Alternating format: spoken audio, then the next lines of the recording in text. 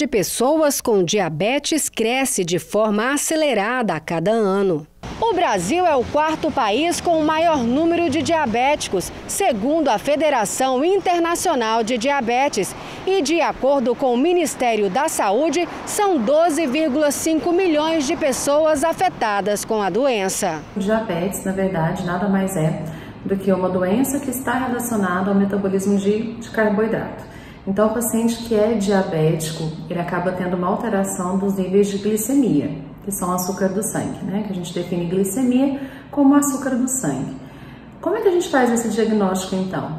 Para esse paciente ser diabético, geralmente a gente usa uma das três metodologias. A primeira pode ser uma glicemia de jejum maior ou igual a 126. A outra maneira de diagnosticar é através de, uma, de um destro, que é uma ponta de dedo, aquela que a gente fura o dedinho para poder avaliar ao acaso, acima de 200. E se vier acima de 200, tem que estar associado a algum dos sintomas de descompensação da doença, que são muita sede, muita fome, o paciente que faz muito xixi, embaçamento visual. E a terceira maneira de fazer o diagnóstico é através da curva glicêmica.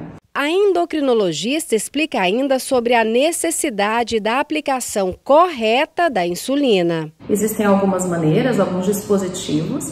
É, os mais comuns, os mais conhecidos são essas canetas de insulina, né, parecidas com essa, em que a medicação ela vem ó, aqui dentro e a gente usa uma agulhinha para poder aplicar. E a gente tem também as seringas, né? Então são os métodos mais conhecidos. Existe um terceiro, que é por bomba de infusão de insulina, mas é um método mais caro e é um método que a gente acaba escolhendo em situações mais específicas. Seu Luiz Eduardo foi diagnosticado com diabetes há mais de 20 anos e, para ter uma vida mais saudável, procurou ajuda profissional. Aprendi a conviver com essa doença, que é uma doença silenciosa.